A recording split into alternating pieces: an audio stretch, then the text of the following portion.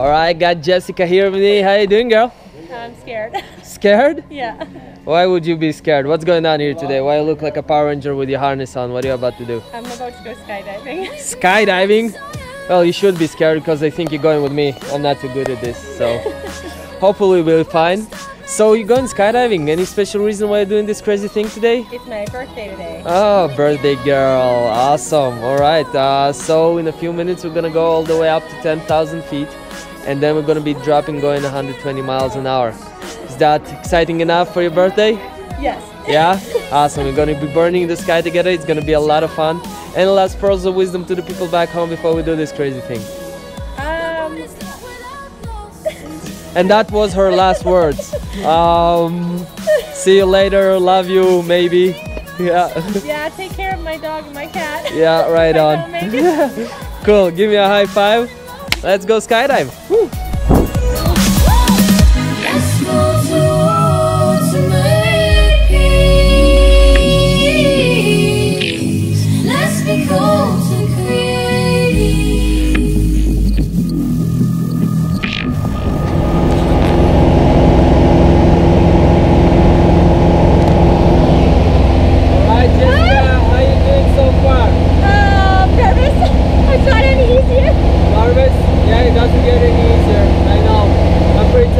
Myself. I'm ready to jump out of the plane. I'm You ready to- now? Yeah. Are you taking a look outside? Yeah. Pretty high up, right? What if I tell you this is only halfway there? Okay. no.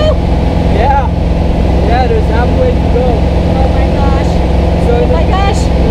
so in a few minutes, we're gonna take a big step